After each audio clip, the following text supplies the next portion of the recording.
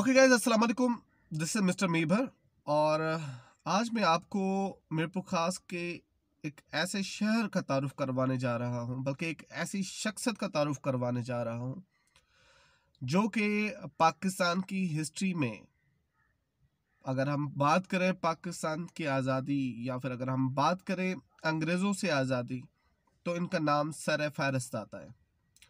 इनको the freedom fighter के नाम से जाना जाता है। सिंध के पहले मुस्लिम बैरिस्टर होने का शर्फ हासिल है।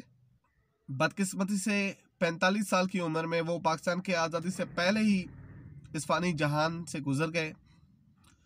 वरना ये भी कहा जाता है कि अगर पाकिस्तान की आज़ादी के वक्त वो ज़िंदा होते तो कायद मोहम्मद अली जना, लियाकत अली खान के बजाय गुलाम मोहम्मद भुलगी को रखते हैं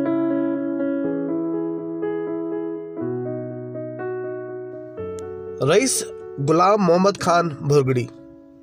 15 जुलाई 1878 में डेंगाण भुगड़ी शहर में पैदा हुए। और 9 मार्च 1924 में 45 साल की उम्र में वो हमसे पिछड़ गए। भुगड़ी इंडियन नेशनल कांग्रेस और आल मुंड आल इंडिया मुस्लिम लीग का हिस्सा रहे। कायद मोहम्मद अली जिना के बहुत ही करीबी दोस्त भी थे और पॉलिटिकल एक्टिविज्म में कायद मोहम्मद अली जिना उन पर काफ़ी भरोसा रखते थे। बैरिस्टर रईस गुलाम मोहम्मद बुरगड़ी की ज़िंदगी के हवाले से मोहम्मद हाशिम लिगारी की तरफ़ से एक किताब लिखी गई है जिसमें आप तफसीला उनकी ज़िंदगी और उनकी खदमात का जायज़ा ले सकते हैं। तो जी बिल्कुल गुलाम मोहम्मद बुरगड़ी की बात हो रही है और रईस गुलाम मोहम्मद भुरगड़ी कि आज आपको हम हवेली घुमाने जा रहे हैं, वो रिहाइश गाह घुमाने जा रहे हैं, या वो पैदाइश का शहर घुमाने जा रहे हैं, जहाँ पर वो पैदा हुए, जहाँ पर पले बढ़े, के दोनों के दोनों इस वक्त खंडर बन चुके हैं। और जब हम इतनी बड़ी शख्सियत का नाम लेते हैं तो शायद हमारे जहनों में होगा कि ये बहुत अच्छा शहर होगा, बहुत बड़ा शहर होगा, उनकी रहायश गाह जो है वो बहुत ही शानदार होगी। वो बिल्कुल शानदार थी, लेकिन इस वक्त जब हम आपको घुमाएँगे तो आपको बखूबी अंदाज़ा होगा कि हमारे इतने बड़े किरदार और फिर उन किरदारों की जो निशानियाँ हैं, वो हम किस तरह खंडर नुमा बनाते जा रहे हैं।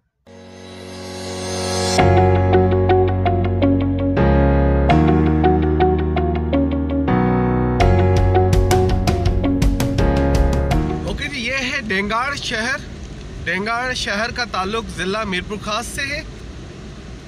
मीरपुर ख़ास के तालका कोट गुलाम मोहम्मद के जी एम तालका में यूसी डेंगाड़ आती है। और लोग जो हैं वो काफ़ी सादा तबीयत हैं, सादा लिबास हैं।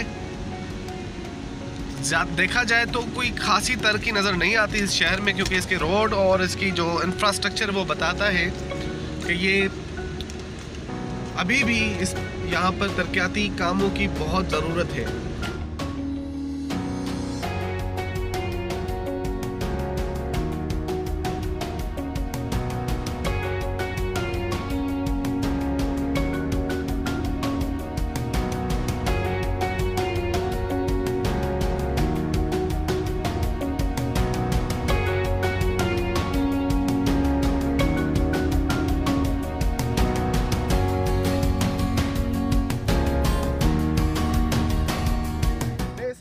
हवेली के सामने खड़ा हूँ। ये है गुलाम मोहम्मद भुरगड़ी की हवेली। और ये गुलाम मोहम्मद भुरगड़ी जो कि पाकिस्तान के बैरिस्टर थे, ये उनकी हवेली है।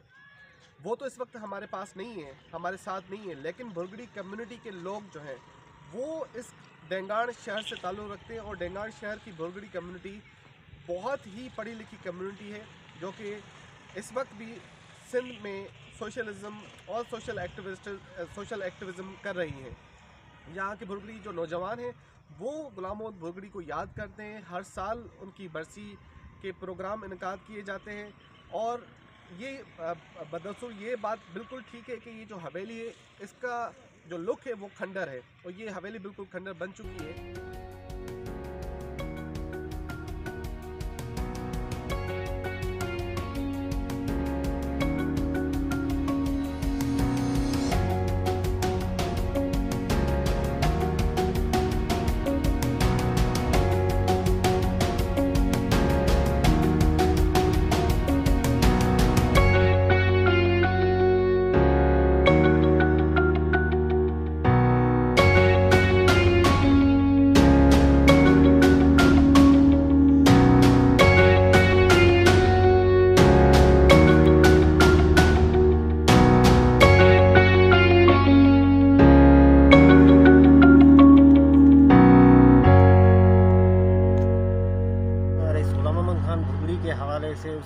तारीख है इस बर सग़ीर के हवाले से, ये अपना ग़ुलाम मोहम्मद ख़ान भुरगड़ी इधर के मतलब क्या बताएँ आपको, बहुत बड़े, बेहतरीन किस्म के आदमी थे और उसकी बड़ी कुर्बानियाँ हैं पाकिस्तान के हवाले से, उसकी बड़ी जद्दोजहद है।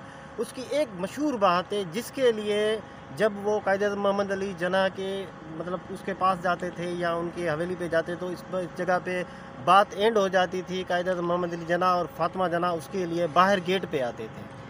मतलब इतनी बड़ी हस्ती और बड़ी शख्सियत था गुलाम मोहम्मद ख़ान भुरगड़ी। और इसके हवाले से हमारे पास इधर हर साल इसकी वर्सी भी होती है, उसके गुलाम मोहम्मद ख़ान के हवाले से भी होती है, गुलाम मोहम्मद के वालिद साहब, गुलाम मुस्तफ़ा, उसके हवाले से भी हमने एक प्रोग्राम अभी कुछ दिन पहले इधर किया था अपना डेंगान भुरगड़ी में। आगे भी सिंध म्यूज़ियम हैदराबाद में भी इसकी हर साल वर्सी होती है, हर साल तकरीब होती है। हमारे जो सोशल लड़के हैं बुरगड़ी कम्युनिटी से जो ताल्लुक़ रखते हैं वो बड़े तंग तादाद में वहाँ जाते भी हैं। हर साल इन आगे भी इसको बढ़ाएँगे। इसकी ज़्यादा से ज़्यादा इसकी जो है अपना इस, इसके हवाले से हम प्रोग्राम भी करेंगे। अगले साल भी इन हम हमने हमारा प्रोग्राम है कि इस मरतबा हमने कुछ छोटे पैमाने पे इसकी वर्सी की थी इसके बाप की वालिद साहब की और अगली मरतबा इन बड़े एक, बड़ा एक प्रोग्राम बनाएँगे इन यहाँ की फीमेल्स भी पढ़ती हैं और ये सारा गुलाम बुरगड़ी की जो परवरिश थी, जो जो पॉलिटिकल अवेयरनेस थी लोगों में फैलाने की वजह से ही ये हुआ है। तो आपको गुलाम बुरगड़ी की हवेली हमने दिखाई है और उम्मीद है कि आपको गुलाम बुरगड़ी की ये हवेली और साथ में लोगों की तासुरात जो आपने सुने उससे कुछ आपकी नॉलेज बड़ी होगी कि सिंध के पहले बैरिस्टर आके रहते कहाँ थे और वो शहर कौन सा था और उस शहर के हालात क्या हैं। तो thank you so much for watching इनशाला आपको, आपके साथ होंगे दोबारा किसी और ब्लॉग में.